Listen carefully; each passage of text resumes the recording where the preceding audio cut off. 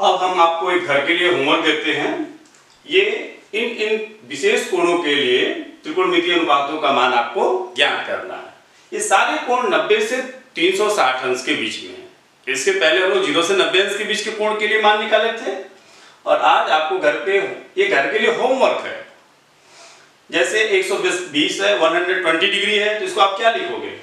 180 minus sixteen इसको क्या लिखोगे? 180 माइनस फोर्टी इसको क्या लिखोगे? 180 माइनस थर्टी, ये तो 180 माइनस ज़ीरो या 180 प्लस ज़ीरो। इसको 180 प्लस टेन, अभी वन एटी प्लस थर्टी, अभी कुछ हमने इसके एंगल बताए थे, सबका एक एक क्वेश्चन कोई ना कोई बताए होंगे।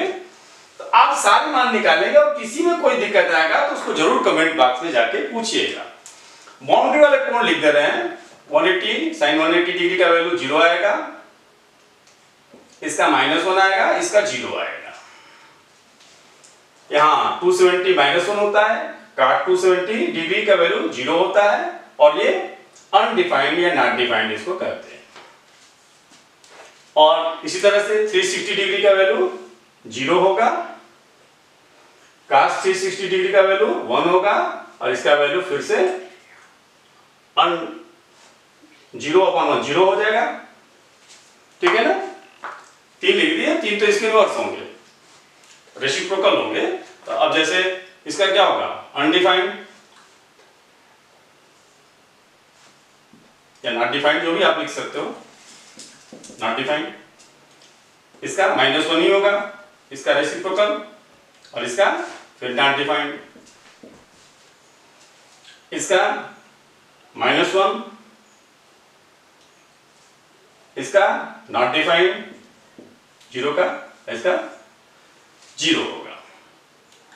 फिर यहाँ पे ज़ीरो है नॉट डिफाइंड और परिभाषित कास का वन का वन ही होगा, और इसका फिर नॉट डिफाइंड तो बाउंड्री वाले केसेस के वैल्यू हमने लिख दिए हैं, बाकी सब आपको निकालने होंगे। क्या लॉजिक है निकालने का? इसको क्या लिखेंगे? इसको दो रास्ते हैं 270 प्लस 60 360 माइनस थर्टी कौन सा रास्ता आप अपनाएँगे? हमने बताया ना कि 180 और 360 वाले। तो इसको 360 माइनस तीस कर देंगे। और पहले ये देखेंगे, चिन्ह देख लीजिएगा कि कौन सा कोण किसके घर में है। उसका चिन्ह लिख लीजिएगा प्लस है कि माइनस जैसे यहाँ से यहाँ तक दूसरे चतुर्थांश में तो साइन और का से प्लस होंगे, बाकी सब ऋण होंगे। ये बाउंड्री हमने लिख दिया। यहाँ से यहाँ तक क्या है? तीसरे में है। तो इसमें टेन और काट के वैल्यू प्लस आएँगे, बाकी सब ऋण आएँगे। यहाँ से यहाँ तक चौथे में है। तो कॉस और सेक के वैल्यू प्लस आएँगे, बाकी सब ऋण आएँगे। ठीक है ना? तो इसमें आप जान लीजिए कौन कौन प्लस आएँगे। इसको लिख दे यहाँ पे। ये पॉजिटिव आएगा, ये पॉजिटिव आएगा, ये पॉजिटिव आएगा। ये पॉजिटिव आएगा, ये पॉजिटिव आएगा, ये पॉजिटिव और बाकी सब निगेटिव आएँगे, क्योंकि ये घर ही किसका है? साइन और कॉसेक का। यहाँ से यहाँ तक कौन पॉजिटिव आएँगे? मान क्या आएँगे, आपको निकालना है। हम चिन्ह लिख, चिन्ह भी लिख दे रहे हैं, और सब क्या होंगे? निगेटिव ठीक है? फिर यहाँ से यहाँ तक में ये किसका कर है? कॉस और सेक का। तो कॉस वाले तीनों वैल्यू पॉजिटिव आएँगे सेक वाले भी तीनों वैल्यू पॉजिटिव आएँगे, बाकी सब निगेटिव ठीक है?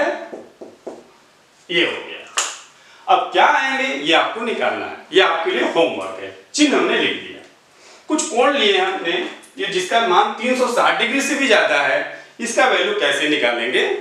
तो ये अभी आपको बताने जा रहे हैं। ठीक है?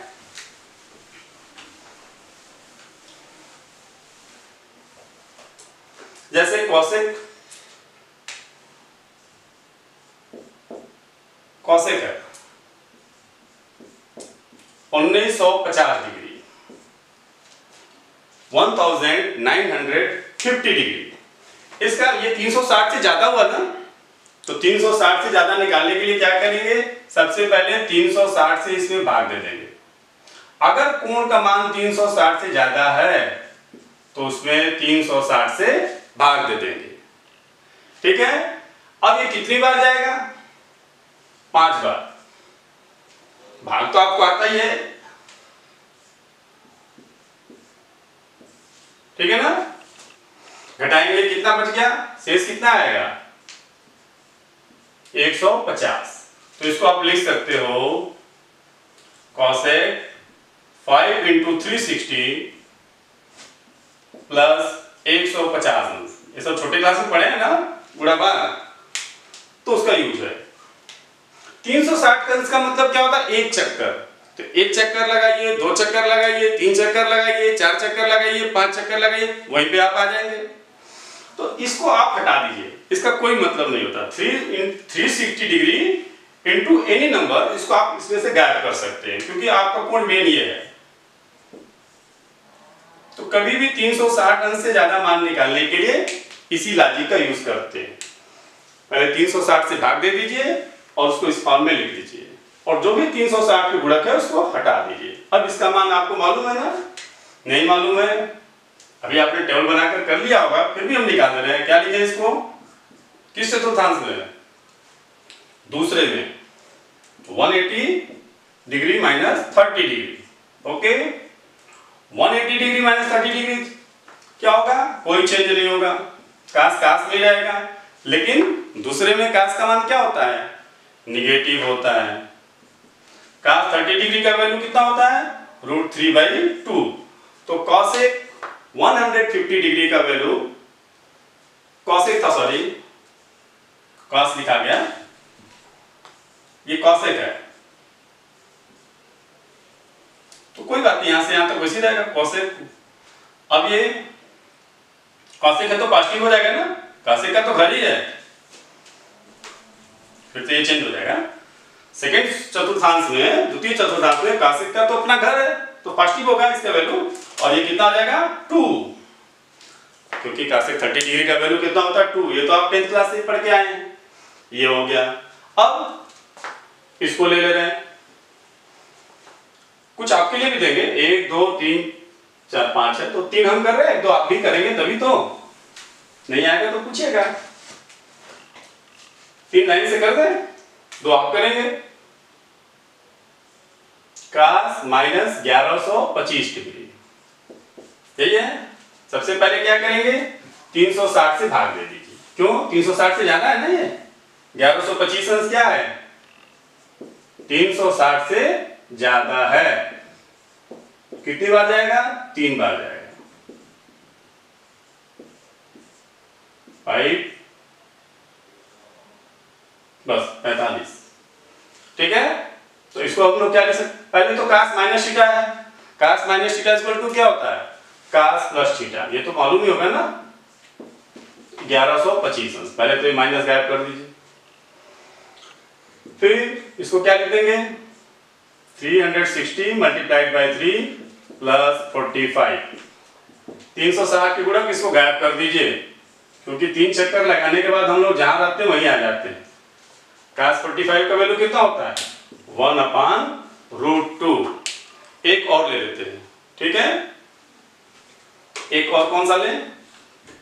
एक ले लेते हैं। तीसरा वाला ले लेते हैं। आपको दिख रहा होगा? Tan minus one thousand four hundred seventy degree. Tan minus theta क्या होता है? पहले तो माइनस का हिसाब कर लिया जाए। चलिए, माइनस का हिसाब हो गया। अब इसको थ्री थ्री सिक्सटी से ज़्यादा कि कम है। ज़्यादा। है पहले डिवाइड कर लीजिए। थ्री सिक्सटी से।